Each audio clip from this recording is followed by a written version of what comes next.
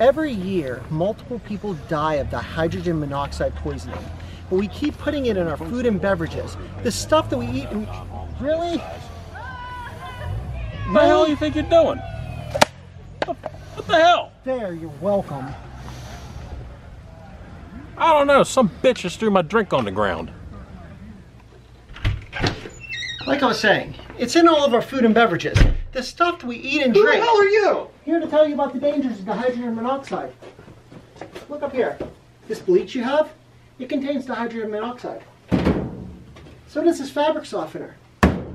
Over here, your detergent, it has dihydrogen monoxide. You want some? No. Are you sure? Uh, no. Okay. How about some uric acid? You want to drink this, don't you? Hell no. Come on, drink it. Uh, no. It tastes good. You're crazy. Let's go upstairs. Hey, no, you can't go up there.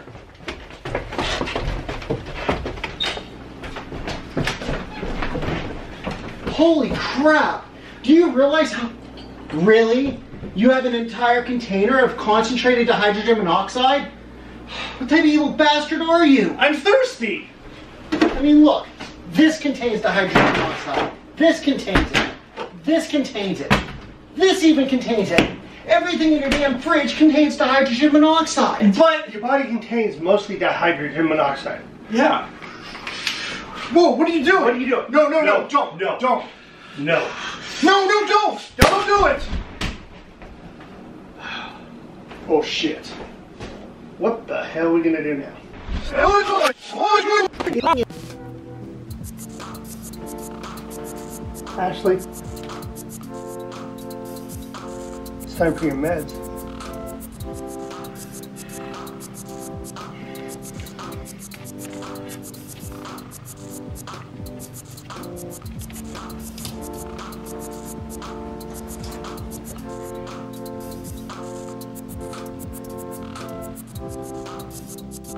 Thank